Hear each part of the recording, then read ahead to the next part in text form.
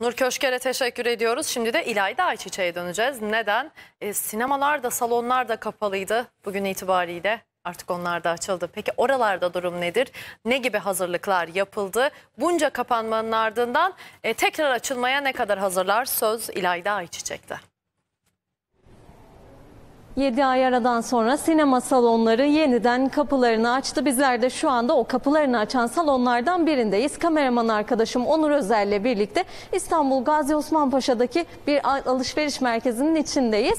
Ee, baktığımız zaman biletleri alacağımız gişeyi görüyoruz ve o gişeye giderken yerde sosyal mesafe işaretleri bizleri karşılıyor. Sosyal mesafemizi koruyarak bil- biletlerimizi alacağız.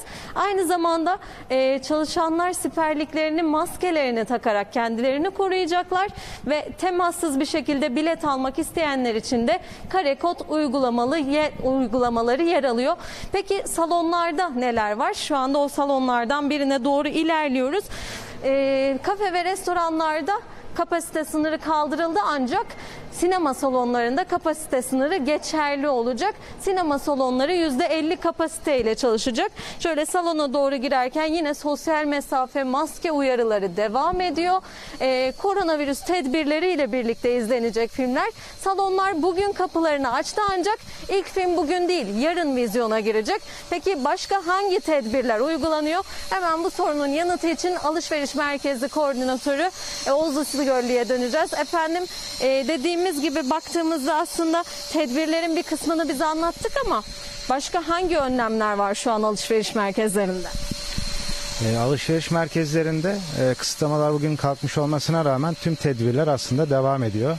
HES kodu uygulaması, ateş ölçümü, sosyal mesafe kuralları e, ve dezenfektan kullanımı aynen devam ediyor.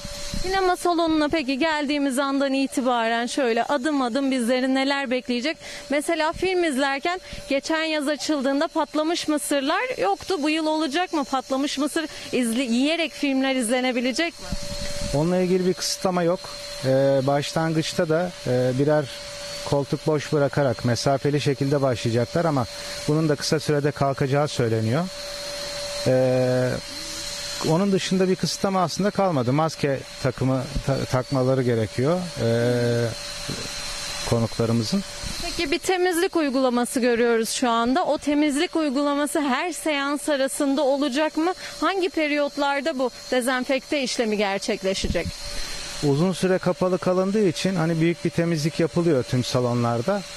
Onun dışında normal rutin- rutine geçildiği zaman e, seans sonlarında tüm temas yüzeyleri dezenfektanlarla temizlenecek. Bu rutin şekilde yapılmaya devam edecek.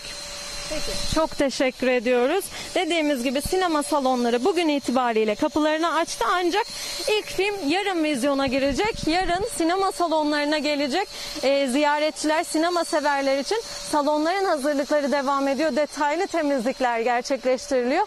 Bir kişi bir koltuğa oturacak ancak yandaki koltuk boş kalacak. Sosyal mesafe film izlerken de korunacak diyelim ve buradan aktaracaklarımızı tamamlayıp tekrar size stüdyoya dönelim.